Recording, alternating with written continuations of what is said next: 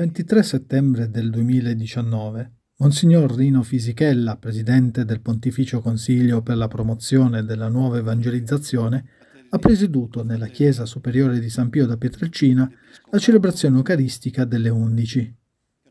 La croce è incontro con la salvezza.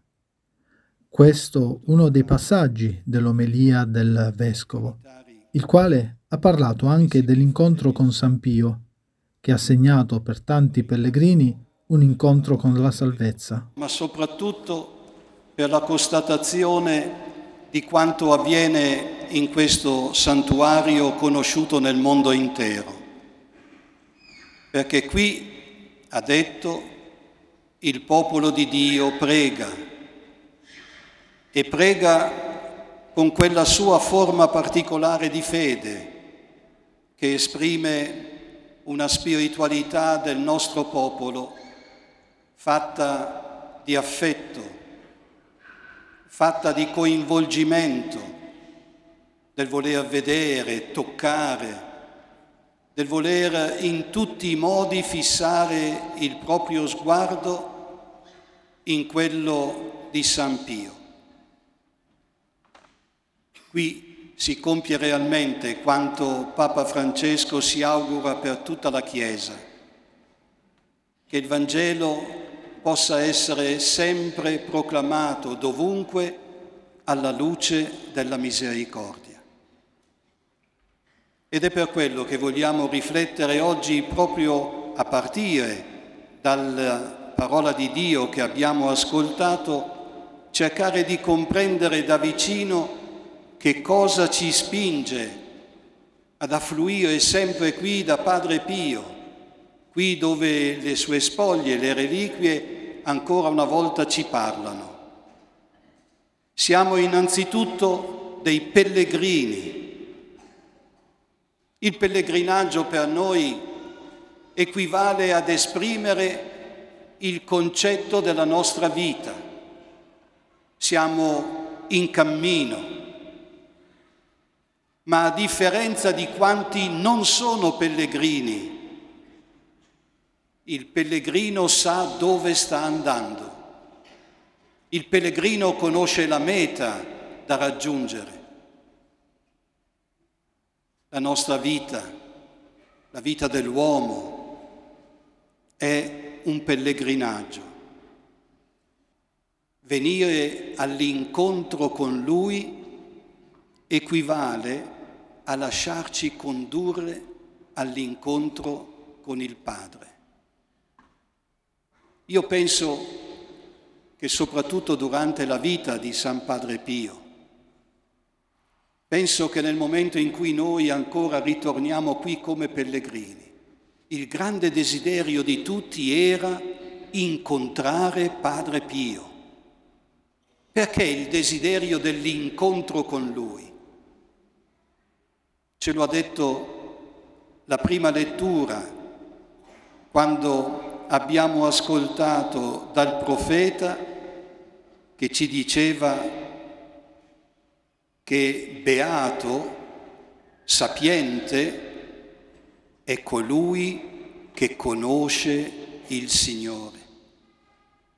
E ancora l'Apostolo, facendo quasi da eco a questa dimensione, ci diceva, per me non ci sia altro vanto se non quello della croce, per mezzo del quale il mondo per me è stato crocefisso, così come io per il mondo. Non avrò nessun altro vanto se non nel crocefisso. Queste due espressioni che la liturgia ci chiede di proclamare in questa festa i pellegrini lo vedevano realizzato in Padre Pio. Lui conosceva realmente chi era il Padre, a tal punto da diventare strumento efficace della sua misericordia. Lui portava impresso dentro di sé, sul suo corpo, quelle stimmate che lo rendevano crocefisso con Cristo, innocente sulla croce. Padre Pio e nell'incontro con lui ci parlava della possibilità di incontrare Dio stesso, nel figlio che rivela il suo amore dandoci la salvezza nel sacrificio della croce e della sua risurrezione. Quando c'è un incontro, l'incontro, vedete, è determinato dal suscitare in noi un bisogno. Abbiamo una necessità. Anche l'essere venuti qui oggi ci spinge il bisogno interiore, profondo che sentiamo nel nostro cuore, nell'intimo, il bisogno di aprire noi stessi, il bisogno di chiedere per noi, per le persone a cui vogliamo bene, che amiamo, che sono nella sofferenza, nella confusione, nel disorientamento. Tutto questo non fa altro che riportare alla mente il bisogno di Dio. Vedete, portare il Vangelo agli uomini, alle donne del nostro tempo, equivale a null'altro se non a suscitare in ciascuno di loro il bisogno di Dio, la nostalgia di Dio, sapere che quel Dio che sentiamo nel più profondo del nostro cuore ancora parla, ancora ci viene incontro, ancora ci ascolta. Ma è necessario che in noi quel desiderio, quella nostalgia, quel bisogno abbia ad esprimersi, abbia a diventare voce, abbia a farsi preghiera, supplica e perché no, incontro di riconciliazione.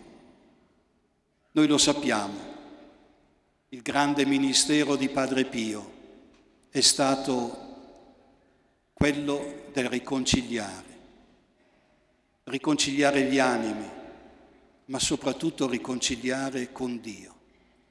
Le ore che Padre Pio ha speso nel confessionale, le ore che dedicava ad essere strumento del perdono, sono ancora efficaci ai nostri giorni, quando qui, nel santuario a Lui ormai dedicato, ci accostiamo ad incontrare Dio, confessando chi siamo, peccatori desiderosi del suo perdono. Perché anche questo avvenga, è necessario, fratelli e sorelle, che prendiamo anche un'espressione molto significativa che Padre Pio usava dire. Lo cito testualmente. Chi si attacca alla terra resta attaccato alla terra. Per questo è bene staccarsi poco alla volta invece che tutto insieme ogni volta che veniamo qui a incontrare Padre Pio perché ci faccia da ponte per incontrare l'amore del Padre, siamo chiamati a staccarci progressivamente da ciò che ci tiene sempre troppo legati a questo mondo,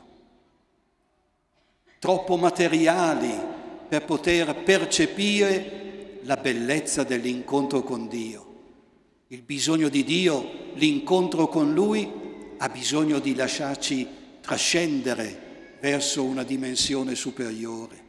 È quello della spiritualità, è quello con la quale non guardiamo più soltanto con questi occhi, ma guardiamo con gli occhi della fede, con gli occhi che sanno andare oltre le difficoltà, le contraddizioni, perché con quegli occhi della fede sappiamo cogliere l'essenziale. Abbiamo bisogno di percepire il fascino di questo incontro. Che bello, vedete, verificare come quando ci rechiamo nella cripta, quando siamo davanti alle reliquie di Padre Pio, qualche cosa ci tocca nel più profondo. È il fascino della santità. Qualche cosa che mentre siamo per la strada non può accadere, ma che accade qui, accade nel momento in cui qualche cosa di più profondo ci tocca il fascino del santo, il fascino che parla di Dio. Scriveva Padre Pio, il silenzio ci permette di ascoltare più chiaramente la voce di Dio. È proprio così. Scoprire qui, davanti a Lui, il valore del silenzio, perché nel silenzio l'ascolto si fa più profondo, perché nel silenzio si percepisce quella voce di Dio che ti chiama, che ti viene incontro, che ti esprime l'amore, che ancora una volta si riconcilia con te e non si stanca mai di doversi riconciliare con te. In quel silenzio cogliamo la bellezza della nostra fede che ci chiama ad essere santi.